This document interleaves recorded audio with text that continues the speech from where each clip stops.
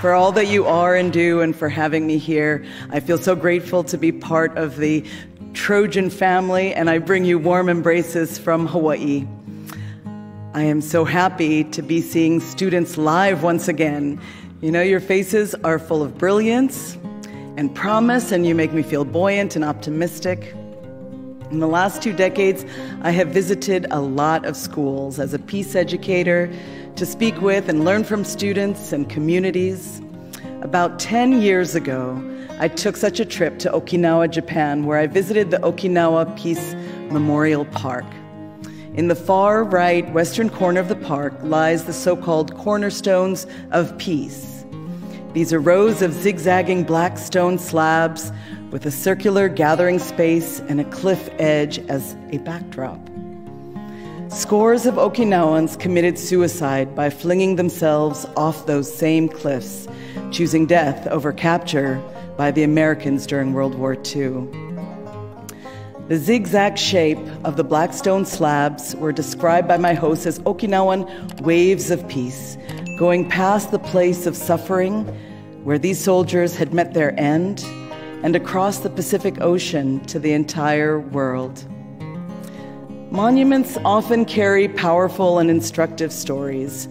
This one moved me a lot because as I read the names inscribed on each stone wall, I realized that there were the names of all those who had lost their lives in the Battle of Okinawa, irrespective of nationality.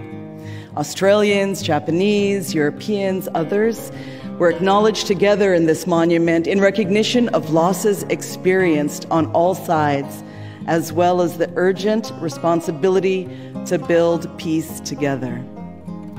It was a really powerful statement of shared humanity an illustration of the South African concept of Ubuntu. I am because you are.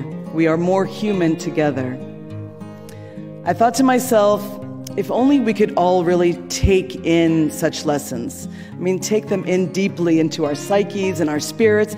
The same lesson Dr. Martin Luther King noted in his letter from Birmingham jail that we are caught in an inescapable network of mutuality tied in a single garment of destiny, and whatever affects one directly affects all indirectly. Perhaps then we would finally be able to make some progress and commit to what is needed to build a more peaceful and just world. Such lessons would have to be interwoven into each of our life tapestries and educational experiences, and the younger the better, right? On that trip, I also enjoyed a Japanese art form called kintsugi, where a broken vase or pot is glued back together with gold binding to make the vessel more valuable than it had been prior to its breaking. I loved that idea that we can infuse artistry and invest commitment into broken things and times and thus make them more beautiful and resilient. I think many of us intuitively admire individuals and communities who have struggled, who have suffered, who have lost, who have known defeat, because they have found empathetic humility, resilient dignity, courageous will, and layered identity. All of you have suffered. You've all been bruised by the events of recent years the pandemic, climate change, racial violence, political strife, and so on.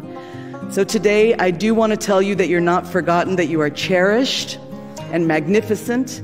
And though these have been lonely, you know, lonely times where real connection with one another has been hard to come by, the gold that I believe we can all use to bind these broken times is to see one another more clearly, listen to one another more deeply, and collaborate more creatively. And I know that you are doing that. You're doing that as students, you're doing that as faculty, and as a community. And this is a peace building to which I'm asking all of you to commit to even more deeply as you move forward from this space. Peace building is so many things. Some of you may define it as personal peace, meditation, anger management.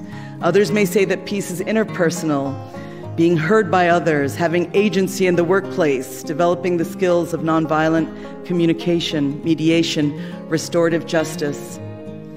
Others of you might think of it as human rights, climate justice, nuclear disarmament, or indigenous innovation. There are as many definitions and connotations of peace as there are people willing to be engaged in seeking it. And everyone's definition has value and might. However, too many of us think simplistically about peace.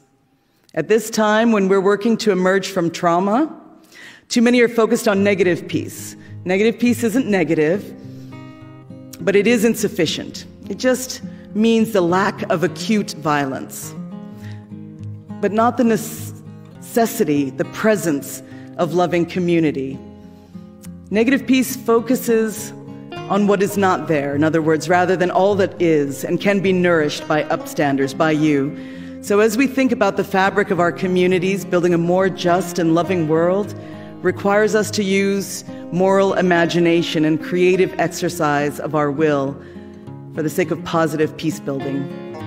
Let's not just do conflict avoidance and expect that all will be well. Now, more than ever, we have to rebrand how people are thinking about peace building and acknowledge that in order to be truly positive influences in the world, we have to have the courage to see peace as a verb, as a call to action, as a responsibility that all of us must take together as citizens of this world. So, as you contemplate your personal definition of peace now, please truly believe that each of you is here and can engage in positive peace building. You have a place to build movements. You can impact the flow of the future in whatever profession or career you are entering into. And you will be more successful and better off because of those efforts. Perhaps you are thinking, Auntie Maya, that's a lovely idea but it feels really abstract. Where do we begin? Maybe it's easiest to start with yourself, your environment, your relationships, your health. Begin with the things that are closest to you. See yourselves for who you are in all of your resplendence. Articulate your gifts, your personal needs, what you like, what you don't like. Be realistic about the opportunities in front of you and for your own internal growth. Sometimes it's only from a place of deep reflection that you can begin to see and understand the needs of your community. Personal peace could mean a process of post traumatic growth through therapy, developing a daily mindfulness or kindness practice, making room for connection with nature that makes you true stewards. Begin to accept yourself, all of your layers, deepen your own compassion towards others the options go on and on. And once you've determined that combination of strategies, tools, and habits for personal peace that work for you, you will feel more courageous in seeking leadership opportunities in the spaces closest to you. Name and nourish yourself, in other words, so that you begin to feel brave about service, about advocating for others, about choosing forgiveness, and speaking out when you witness injustice. Becoming an active peace building leader in your community definitely does not require a special role, title, or invitation. All of you already have impact, whether it's through the coffee you buy each morning at your local coffee shop or the food pantry where you volunteer on Wednesdays or the sports league you joined to connect with people across neighborhoods. Each of you are constantly engaging with community every day. So embrace your peace building leadership identity as you do. Own your power to impact your surroundings in benevolent ways, working to make those around you feel cared for and valued, and increasing your awareness around places in your neighborhoods or organizations where injustice may be occurring. Think of it like this the world, as huge as it may seem, is just a large cluster of different communities. So if everyone treated their community like a giant family of their own, the world could be a place where everyone feels valued and uplifted in family or ohana. A healthy, functional family, of course, right? So you might ask yourself questions like Am I widening my sphere of influence where I work and live? Am I expressing myself with honesty and courage? Am I finding ways to serve others and the means to change organizational structures that could improve the lives of others? As I tell my students, we all make ripples. You just have to find the right place to enter the stream and then choose to step in the water and get wet. In all of this, I don't want to gloss over the fact that there are indeed traumas present. These are times of illness, strife, and storm at home and abroad, and it might feel easier to ignore the violent conflicts in Ukraine, Syria, Pakistan, Nigeria, Venezuela, or other spaces. It's hard to stay sturdy in the face of incredible socioeconomic and geopolitical divisiveness right here in the US. In all instances, there are probably days when you want to retreat and seek solitude, and while making time to care for your mental health is really important. Thank you, USC, for doing that for your students. Too much isolation can be dangerous too when we are trying to build more peaceful, whole, well communities.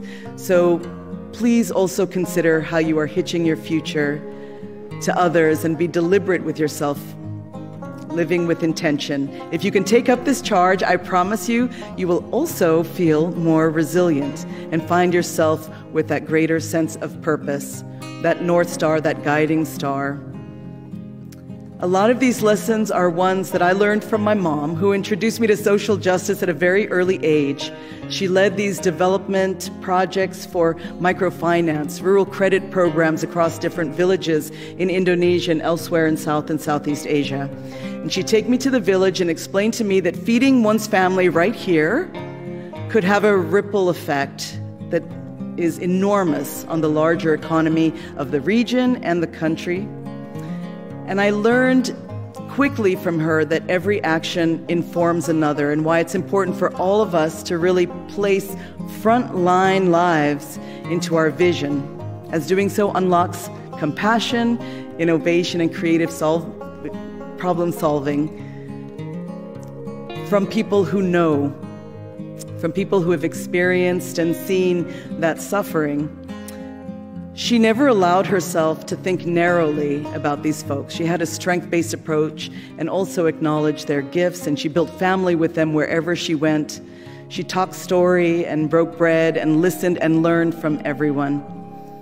And I have found that even years after her death, people in the villages where she worked still remember her.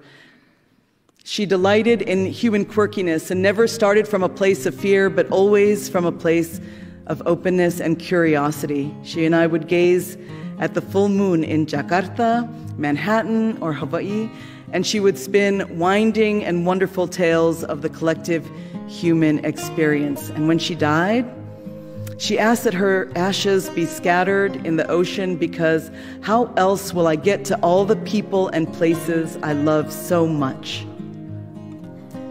Of course, I thought of her at the Okinawan Peace Memorial. And I imagine each of you has that person or persons in your life who have shaped your peace building identity and been a source of inspiration. As you embark on this next phase of your personal journey, I hope you will find ways to continually remind yourself of what those people have taught you and that you will see their lessons as lifelines when the going gets hard Keep reflecting on their lives and examples as you make your own choices. In addition to the memories of mom, one of the other things that has helped me to stay motivated is art. A few years ago, I founded a nonprofit called the Peace Studio, entirely devoted to providing artists and journalists with the tools and resources needed to tell restorative narratives, find communities, stay resilient, and use their creativity to have a positive impact essentially training them to become strong peace building leaders.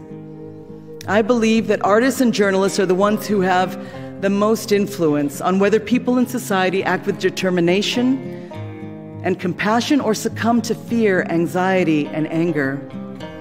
With art, we have the power to imagine worlds before they exist.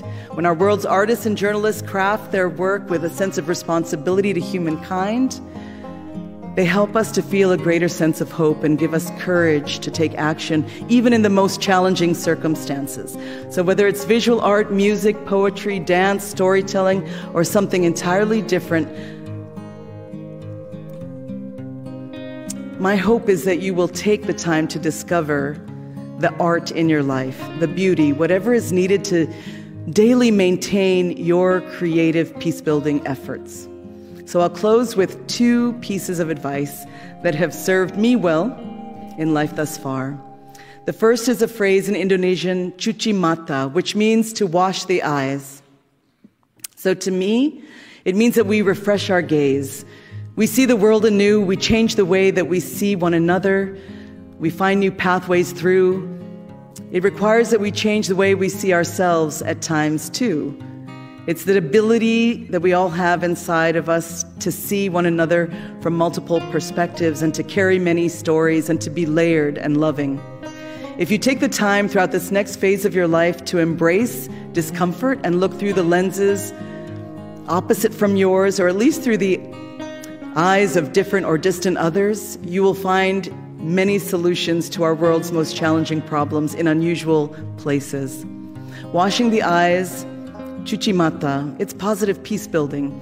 Committing to it as a practice can make you a lifelong learner and a powerful leader. The second piece of advice I offer is this notion of trying to see and lift up the gifts of others. And know that that is an incredible strength. Wherever you are, no matter who you are with, notice the strengths of your friends, your family, your colleagues, and be active in helping them to use their gifts and achieve their dreams. Instead of seeing the world competitively, when you cherish your relationships and do your best to love everyone who crosses your path, as hard as that is sometimes, you empower your imagination and our world is too fragile not to be collaborative, to not be optimistic, and to not trust that we can really learn from each other. So remember that peace building leadership isn't top down leadership. It's the work of those who lead from beside, behind, and beneath, and includes all of you, every single one of you, people of every demographic. If you are an artist, make us feel something expressive and expansive. If you are a storyteller, focus on telling stories that are not yet known that help us to know how to find the clearing, spotlight those that have been too long in the shadows, bring important stories from periphery to center. If you are a counselor or a teacher, think about how you can build bridges between school and community to nourish wellness. If you are a construction worker, an urban planner, a designer, an architect, build spaces that deepen personal peace and interpersonal connection, or build shelters or tiny homes that create pathways from houselessness to solvency and safety. Once you discover your inner knowing, turn that into action. And for those of you who are young, as young as you may feel, you are ready, thanks to your education at USC, your childhood experiences, to be true representatives of the generation that is inheriting everything and being burdened with a lot. I know I've pointed out a responsibility that you have, but I ask you not to think of it as something too stressful. It is beautiful and empowering, and when we do the positive peace building work together, it is big fun. So feel joy. This is a joyful moment. The first baccalaureate in three years, right? Are you feeling joyful? Yes. Celebrate. Have fun. And as you go to this job or that, or this place or that place, go with the intention of building your positive peace framework. This is vital work, and it's brave work through the storms ahead. Turn your knowledges, your successes, your failures into impactful art and movement building. And yes, you have many knowledges, many wisdoms.